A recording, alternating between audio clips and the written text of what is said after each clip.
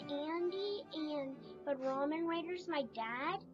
And today I would like to show you the first noodles I remember eating, and they're my favorite.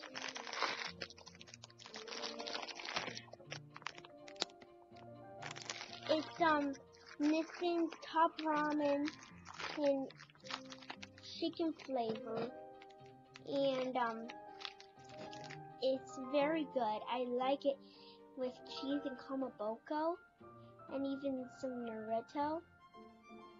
Kamaboko is this thing in Japanese, I think. It is, anyways, it's a thing you can put in noodles and other stuff that you think will be good. And we got me and my dad, which I like to call Papa, the wrong Raider.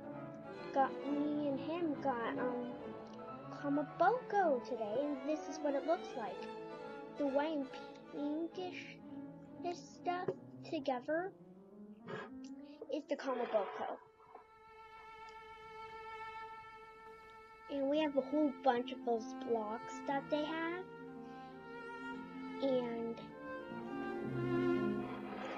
I wonder, what's your favorite?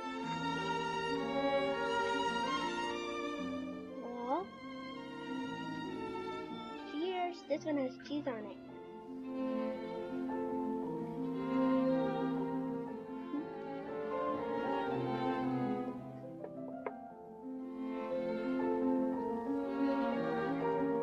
This is a Kamaboko block. It doesn't have any Kamaboko left on it, but still. Kamaboko used to be on this one side. Sometimes they have um cool designs on it, and they're always made out of wood. And my dad uh, and me have a whole bunch of them.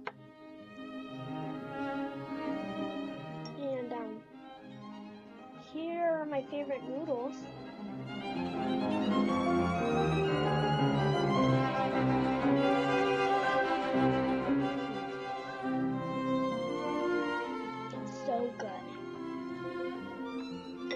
Tried this flavor yet,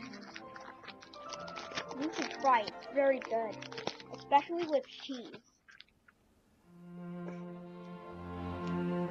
Hope you enjoyed this video. And try these noodles.